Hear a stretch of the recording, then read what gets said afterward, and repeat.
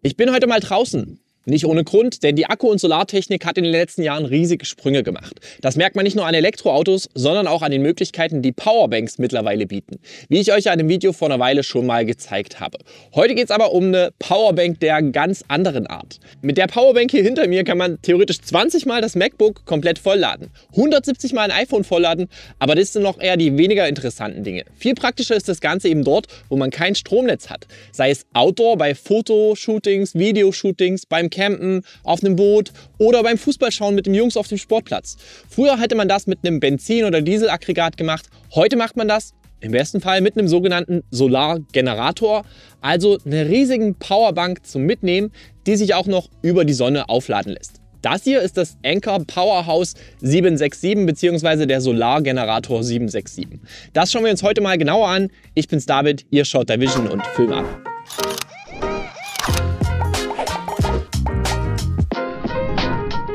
Wenn ihr am Ende merkt, dass das Video euch gefallen hat, denkt an Like, Abo und Druck auf die Glocke und schaut natürlich auch gerne mal bei mir im Instagram vorbei. So ein Teil gehört jetzt sicher nicht zur Standardausstattung eines Fotografen oder Filmemachers. Aber diese Powerstations sind so vielseitig, dass sich das für den einen oder anderen lohnen könnte. Gerade wenn man Use Cases hat, wo man die Vorteile im professionellen Alltag als auch die Vorteile im privaten Outdoor-Alltag miteinander verbinden kann. Aber ich zeige euch mal, was ich damit meine. Das Powerhouse selbst sieht erstmal wirklich schick und hochwertig aus. Ist aber alles andere als klein oder leicht. Das Ding wiegt rund 30 Kilogramm. Ja, 30 Kilo. Deshalb hat es auch Räder und Griffe an den Seiten und diese ausfahrbare, kofferähnliche Ziehhilfe. Im Vergleich zu einem kleinen Diesel- oder Benzingenerator ist das aber trotzdem kleiner und leichter und so ein Generator hat eben nur und ausschließlich 230 Volt Wechselstrom. Das Powerhouse natürlich nicht. Ach ja, günstig ist der Spaß natürlich auch nicht, aber darüber sprechen wir am Ende nochmal, okay? Zumindest gibt es von Anker eigentlich immer und ständig irgendwelche Rabattaktionen für Bundles mit dem Powerhouse oder Solargenerator, wie jetzt gerade auch zum Earth Day bzw. Earth Month. Es gibt an dem Ding dreimal USB-C mit jeweils 100 Watt Ausgangsleistung pro Anschluss, also kombiniert 300 Watt für Smartphone, für Laptop, für Drohnenakkus, Drohnenfernsteuerung, Kameraakkus, eben alles, was man über USB-C aufladen kann. Noch dazu auch noch zweimal USB-A für Kleinkram und eben alles andere, was man auch noch über USB laden will. Und 12 Volt Kfz-Stecker dürfen natürlich auch nicht fehlen. Praktisch, da vieles an Campingzubehör über 12 Volt Zigarettenanzünder läuft, mit Strom versorgt wird, wie zum Beispiel Pumpen für Luftmatratzen oder ähnliches. Und es gibt natürlich auch drei Wechselstrom-Schuko-Steckdosen mit 320 Volt, die zusammen bis zu 2300 Watt an Ausgangsleistung abgeben können. Das reicht, um zum Beispiel sogar Stromfresser wie ein Toaster, einen Wasserkocher oder eine Mikrowelle oder gar elektrische Sägen, Bohrmaschinen, Rasenmäher damit betreiben zu können. Aber natürlich könnt ihr daran auch Netzteile anstecken oder eben alles an normalen Netzstromequipment daran anschließen. Da das Powerhouse 767 auch eine reine Sinuskurve verwendet, bekommt ihr hier anders als mit Verbrennergeneratoren auch keine Probleme mit Spannungs- oder Frequenzänderungen bei eurem Equipment. Die Steckdosen und die beiden Kfz 12 Volt Stecker müssen per Taste erst angeschaltet werden, wohingegen die USB-C-Ausgänge und USB-Ausgänge immer mit Strom versorgt werden. Wenn ein AC-Gerät, also ein Wechselstromgerät, übrigens eine Weile keinen Strom mehr zieht, werden die Steckdosen wieder abgeschaltet. Damit der Inverter im Gerät nicht die ganze Zeit dauerhaft laufen muss, denn das würde auch Standby-Strom verbrauchen und das will man ja bei einer quasi Insellösung eben eigentlich nicht. Und zu guter Letzt gibt es noch ein LED-Licht, was man in drei Stufen anschalten kann, direkt an dem Powerhouse. Das kann zum Beispiel sehr praktisch sein abends beim Campen im Zelt oder, oder, oder. Die Stromabgabe erfolgt hier über GAN-Wandler, die besonders effizient sind, um so wenig wie möglich kostbaren Strom zu verschwenden. So wird die Effizienz erhöht, damit die Wärmeabgabe verringert und es mehr, bleibt im Endeffekt mehr von eurem gespeicherten Strom erhalten. Aber abgesehen davon, wie der Strom rauskommt, wie kommt er denn rein? Auch dafür gibt es hier natürlich verschiedene Wege, aber wir nehmen am Anfang mal das naheliegendste. Das Ding heißt ja nicht umsonst auch Solargenerator, denn Anker bietet passend zu diesem Powerhouse 767 faltbare 200 Watt Solarpanels an. Die nennen sich Anker 531 und haben ein nettes, kompaktes, wetterfestes und sehr robustes Design. Und interessant an den Dingern ist die Effizienz von 23%, Prozent, was derzeit so das Beste an Solarwirkungsgrad ist, was man auf dem Markt bekommen kann, auch bei Dachsolaranlagen. Dazu kann man auch noch die Ausrichtung anpassen per Standfuß, um so das Maximum an Solar Solarstrom einfangen zu können. So ist das natürlich super für unterwegs, zum Beispiel beim Camping. Im Prinzip geht aber alles an Solarpanels, die einen XT60-Stecker verwenden und nicht nur eins, sondern bis zu fünf Stück, die dann über so ein T-Stück parallel geschaltet werden können. Maximal können so 1000 Watt per Solar in die Batterien gepackt werden. Der Inverter ist schon drin, die, die Batterien werden direkt vom Solarstrom geladen und dann per AC-Steckdose, per USB-C, per USB-A und so weiter wieder abgegeben werden. Für das komplette Aufladen über Solarstrom braucht das Powerhouse bei 1000 Watt, also fünf von diesen Panels, zweieinhalb Stunden. Aber auch ganz cool, mit ein paar Adapterkabeln kann man auch ganz normale, fest verbaute Haus-Solarpanels für die Einspeisung ins Powerhouse verwenden. Die Panels haben meist zwei MC4-Stecker und können per Adapter zu XT60 ebenfalls dafür sorgen, das Powerhouse zu laden. Habe ich bei mir im Garten so gemacht, im Keller ein bisschen geladen. Vorteil, diese Dinger, die großen haben natürlich viel mehr Leistung. So könnte man zum Beispiel einen auf den Camper oder Wohnmobil fest installiertes Solarpanel für die Aufladung von diesem Powerhouse nutzen. Oder eben, wie bei mir, das eigene Balkonkraftwerk verwenden, um einen Batteriespeicher wie diesen hier eben zu befüllen. Da man das Powerhouse auch noch mit einer zweiten Zusatzbatterie ausstatten kann und die Kapazität so verdoppeln kann, könnte man so Strom für die Nacht speichern und dann wieder nutzen. Ich habe zum Beispiel meine Solarpanels direkt an ein Powerhouse angeschlossen und daran mein NAS, meinen 10 Gigabit Switch gehängt, zwei meiner größten Standby-Verbraucher im Haus. Das Ganze lief dann so lange autark, bis die Sonne mal ein paar Tage nicht so richtig sich hat blicken lassen. Und da waren immerhin zweimal 380 Watt an Solarpanels angeschlossen. So einfach ist es also gar nicht, etwas komplett off-grid laufen zu lassen, gerade wenn es dauerhaft angeschaltete Verbraucher sind. Aber da hat man ja zum Glück unterwegs eigentlich weniger von. Unterwegs zum Beispiel mit einem Verbrennerfahrzeug kann man das Powerhouse aber auch über 12 Volt Kfz-Steckdose aufladen, quasi während der Fahrt einfach den Strom, der sowieso von der laufenden Lichtmaschine kommt, abzapfen und beim Camping, auf dem Boot oder im Garten oder bei der Arbeit wieder verwenden. Man kann das Powerhouse aber auch ganz einfach klassisch über Netzstrom aus der Steckdose wieder aufladen. Das geht mit bis zu 2300 Watt dann auch ziemlich flott. In etwa 1,5 Stunden sind die 2 Kilowattstunden hinter mir wieder voll. Im Powerhouse stecken übrigens LFP-Akkus, also Lithium-Eisenphosphat, vier Akkus der neuesten Generation, die zusammen eben 2048 Wattstunden oder auch 2 Kilowattstunden haben. Die können bis zu 3000 Mal komplett geladen werden und Enker gibt darauf 5 Jahre Garantie. Die Lebensdauer wird sogar mit 10 Jahren angegeben.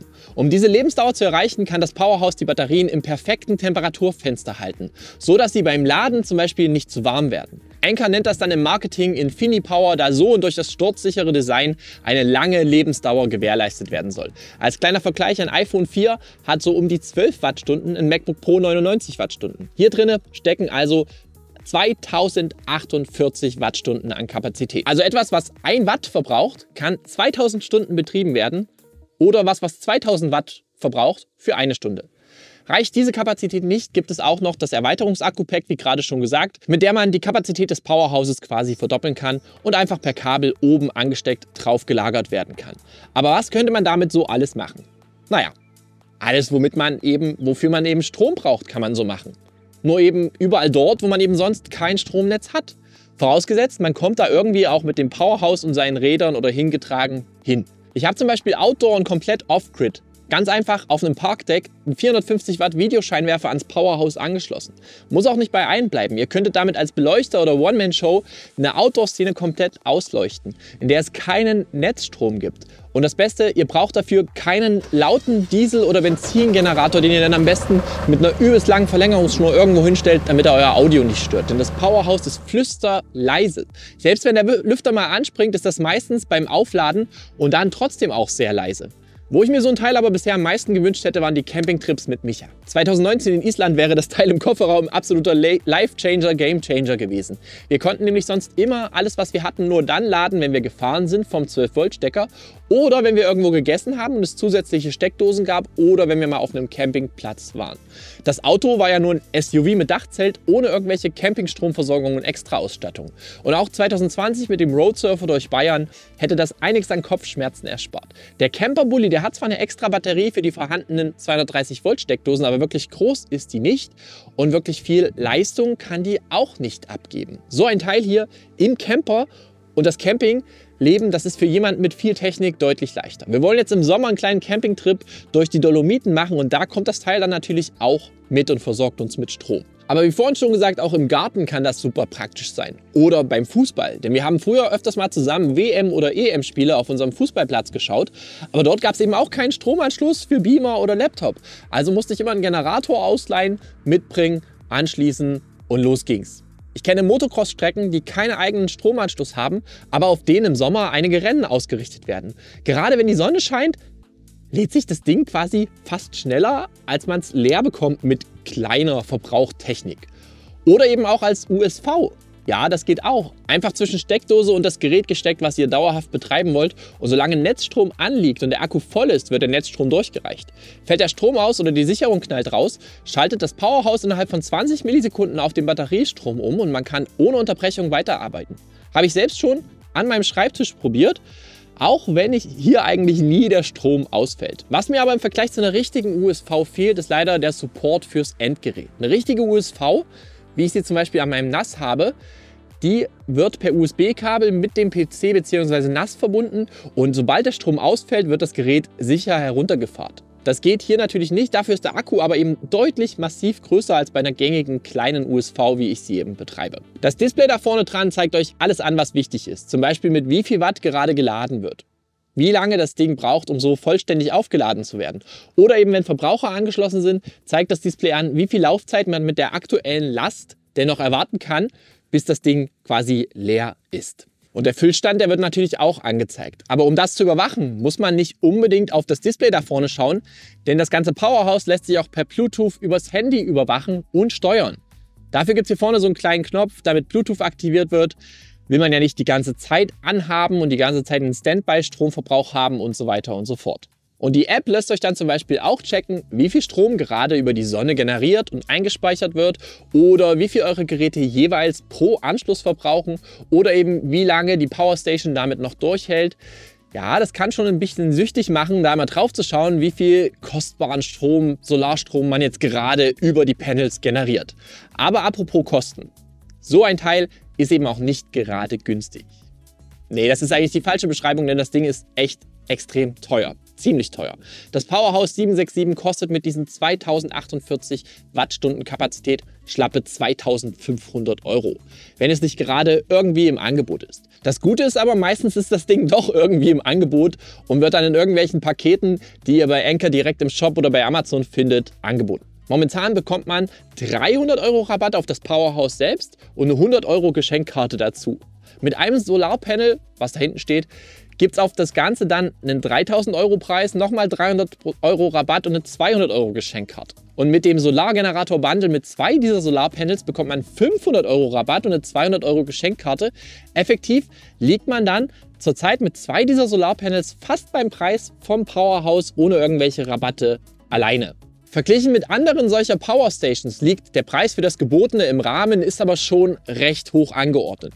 Man sollte sich also das ein paar Mal durch den Kopf gehen lassen, ob man das eben wirklich braucht und ob es auch die ganz große sein muss. Es gibt nämlich auch kleinere Ausführungen mit weniger Kapazität.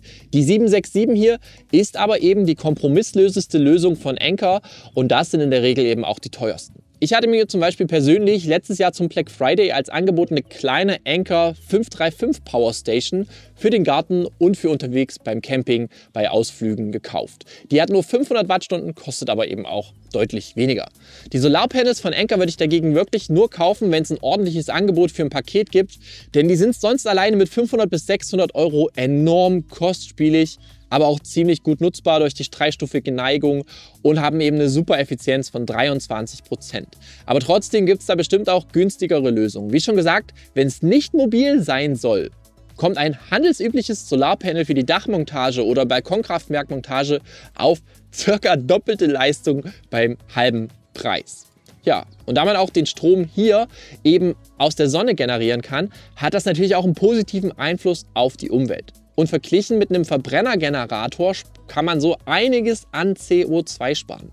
Dabei ist natürlich die Produktion der Geräte und der Batterien noch nicht mit einkalkuliert. Das muss man immer bedenken, ist aber eben bei einem Diesel- oder Benzingenerator auch nicht anders. Links zu dem Powerhouse 767, den Solarpanels und natürlich auch den Bundles als Solargenerator mit den entsprechenden Rabattcodes findet ihr da unten in der Videobeschreibung. Und wenn ihr dann über diese Links einkauft, unterstützt ihr damit kostenlos diesen Kanal hier und sorgt so damit dafür, dass ich weiterhin solche Videos für euch machen kann. Denn durch Einkäufe über diese Links verdiene ich eine kleine Provision bei den Shops, in denen ihr kauft, aber das kostet für euch nichts. Aber sagt mir auch gerne mal, was ihr vom Thema Solarstrom, Solargeneratoren, Batteriespeicher, Powerstations und so weiter haltet. Ich weiß, es ist eine recht kleine Nische, aber ich als technisch interessierter Nerd bin da in so einem kleinen Sog gelandet und wollte mir dann immer mehr Wissen aufsaugen, ausprobieren und so weiter und so fort. Schreibt gerne eure Meinung dazu mal da unten in die Kommentare oder schaut mal auf dem Discord-Server vorbei. Wenn euch dieses Video gefallen hat, würde ich mich über ein Like unter dem Video freuen. Lasst gerne euer Abo da, wenn ihr das noch nicht gemacht habt und drückt auf die Glocke, wenn ihr kein Video mehr verpassen wollt. Hier, hier neben mir, gibt es jetzt noch zwei weitere Videos, die ihr euch gerne im Anschluss anschauen könnt. Und ansonsten sage ich dann mal Ciao, bis zum nächsten Mal.